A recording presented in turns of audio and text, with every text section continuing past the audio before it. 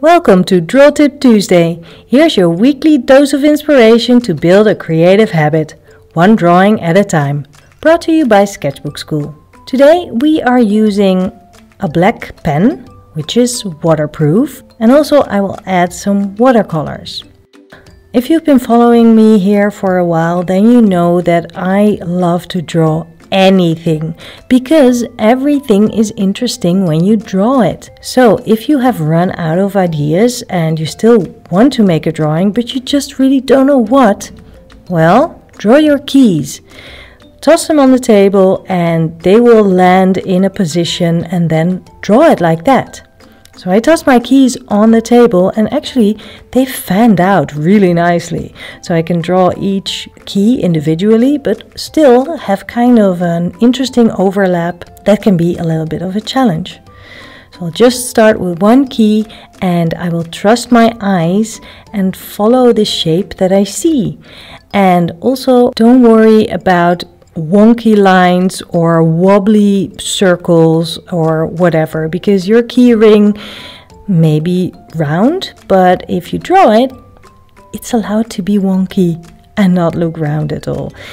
Altogether, it will look like a bunch of keys when you're done with this drawing. So don't be discouraged if maybe you make a little bit of a mistake or it doesn't really look like what you see. You can fix it just by moving along and not worrying about it.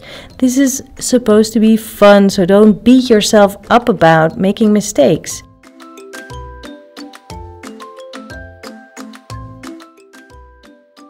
Drawing your keys, you can do this anywhere at any time, and it's a fantastic exercise to practice your skills. And each time you draw your keys, they will look different, even when those keys have been your house keys for years.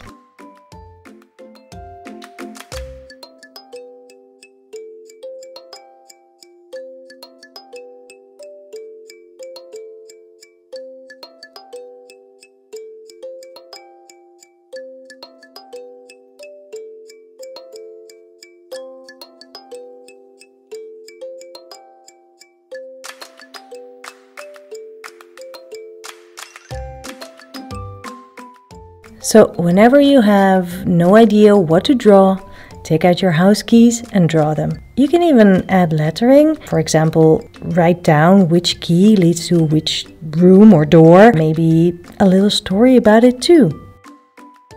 When you're done with your line drawing, you can add a little bit of color. I like adding a shadow because that really makes the subject sit on a surface and it also gives a lot of depth.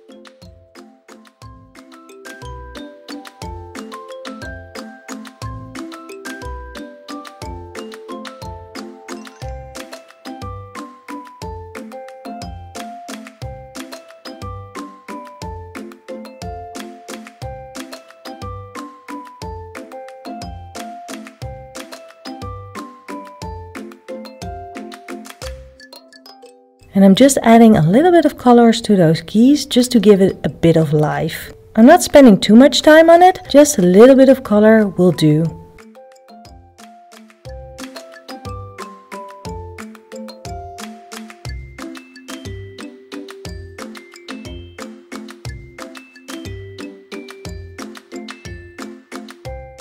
That's it for today. And if you need more inspiration, there's a brand new course called a zillion ways to fill your sketchbook, and you will find many, many, many more ideas to fill your sketchbook pages with. So head on over to sketchbookschool.com.